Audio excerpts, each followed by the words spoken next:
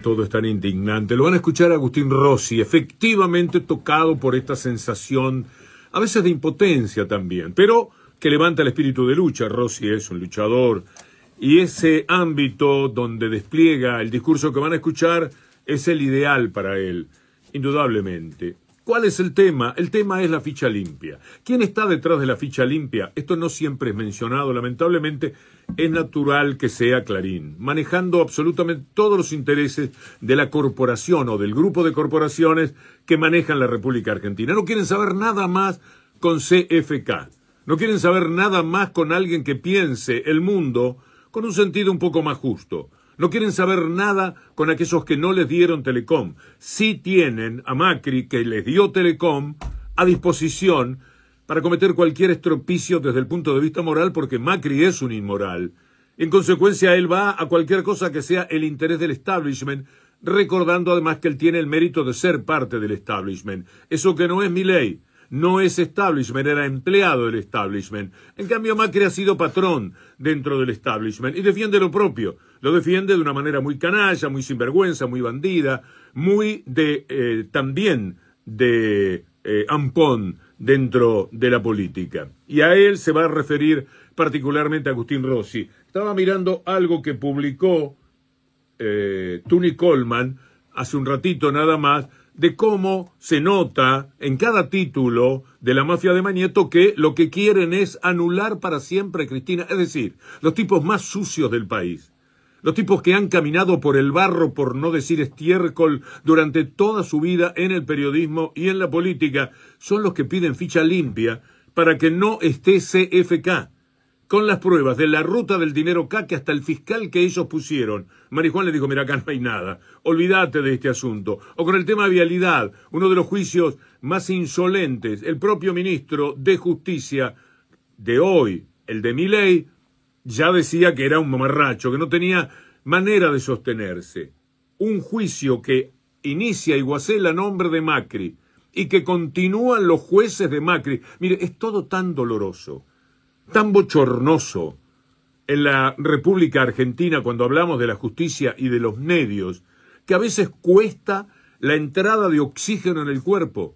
Son unos malandras, unos sinvergüenzas y lamentablemente todos tienen el prurito de no hablar supuestamente del periodismo por la libertad de expresión. Libertad de expresión, cuando ellos son atacados por algún motivo, inmediatamente la sacan a relucir.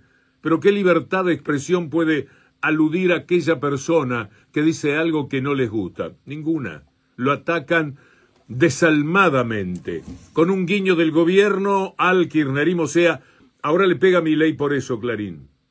Porque lo quiera mi ley totalmente alineado. Mi ley le dio tarifas, todo lo que pedía la AEA. E por ese lado, muy bien. Sus editores escriben, qué lástima que a mi ley le va tan bien la economía le va tan bien, le va tan bien la economía, pero se mete a decir disparates. Y ahora se metió con esto de, al parecer, cruzar guiños con el kirchnerismo para frenar la ley ficha limpia que quiere Clarín y que pide Macri, que es exactamente lo mismo. Por lo menos queda claro, dice Tuni Coleman, que el objetivo es proscribir a CFK. En eso están. Esta es la vergüenza nacional, el cáncer nacional que hay que sobrellevar todos los días y con cuya metástasis es necesario luchar en cada jornada. Acusado por contrabando grabado. Tienen un presidente, un líder político, que fue acusado por contrabando agravado y que salió absuelto por la, la mayoría de la Corte Automática de los 90 y que la causa Macri estuvo entre los causales que impulsó esta Cámara de Diputados para destituir a los miembros de esa Corte en el año 2003. Y vienen acá a tratar de darnos lecciones de moral y de ética. Les quiero decir que tienen un gobierno que está más sucio que los baños de retiro. Les quiero decir que tienen la mitad del gabinete con la plata en el exterior. Les quiero decir que tienen funcionarios, que tienen cuentas sociales, están en los paraísos fiscales, licúan su dinero, no pagan impuestos. Y que tienen un presidente que fue acusado de contrabando agravado. ¡Contrabandista! Contrabandista. Y vienen y se levantan acá y ante cualquier discusión, ante cualquier imputación, ante cualquier debate, sacan una discusión por la ventana. Entonces, señor presidente, que se dediquen los diputados del oficialismo a venir a defender la política tarifaria, que fue lo que, lo que no hizo el presidente del interbloque. Vengan a defender lo que quieren defender, pero no vengan a descalificarnos a nosotros con cuestiones que no pueden sostener. Entonces, señor presidente, de esto es lo que estamos hablando. La verdad, señor presidente, que lo que sentimos es que estamos haciendo un enorme esfuerzo para tratar de darle una solución a los argentinos, que cuando no tienen mayor discurso, no tienen otro debate, no tienen otra argumentación que llevar, siempre buscan la descalificación. No tienen autoridad moral para descalificar por honestidad. A ver si lo entienden de una vez para siempre.